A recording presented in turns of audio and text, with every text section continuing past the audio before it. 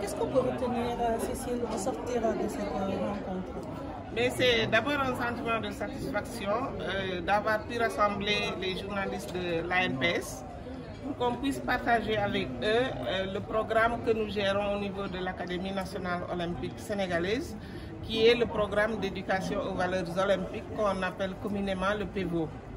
Il est essentiel que les journalistes sachent de quoi on parle parce que nous les invitons tout le temps à nos événements.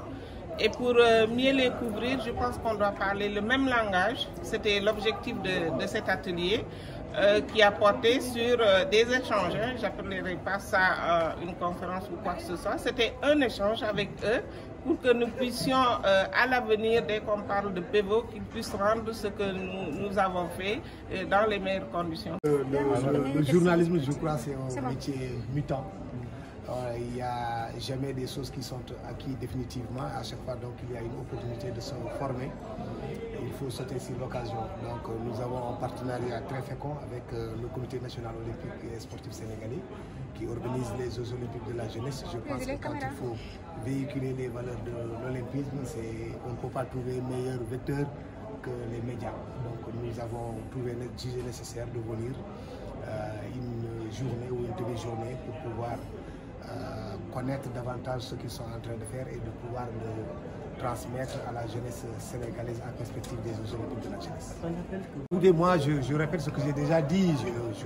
Les Jeux olympiques de la jeunesse, je pense que euh, c'est extrêmement important pour notre pays et on a surtout besoin de montrer notre patriotisme, de faire preuve de chauvinisme pour euh, montrer à la face du monde euh, il n'y a pas que les Français, les Américains, les Asiatiques qui peuvent organiser une compétition pareille. Les Africains en sont capables. Le Sénégal va servir de tremplin. Donc euh, il va falloir que tout le monde s'y mette, que ce soit les autorités étatiques, que ce soit les fédérations sportives par l'intermédiaire du comité olympique, mais aussi de la presse sportive sénégalaise. On en a besoin. Donc euh, ces jeux-là, ce sont les jeux du Sénégal. Il faut que tout le monde soit uni pour qu'on montre le savoir-faire et le savoir-être sénégalais. Alors, on remercie euh, tout d'abord le CONOS, le Comité national olympique, euh, l'ANOS qui est l'Académie nationale, de nous euh, intégrer, nous journalistes, dans ce programme d'éducation des valeurs, des valeurs olympiques. ce programme qui aujourd'hui va nous servir, nous, en tant que journalistes, c'est vrai que d'habitude, euh, ce qu'on fait, c'est plus véhiculer l'information. Mais aujourd'hui, euh, on va se servir aussi euh, de, cette, de cet objectif qu'on a aussi en tant que journaliste, de servir de relais en tout cas par rapport à l'information, la sensibilisation aujourd'hui sur les valeurs olympiques.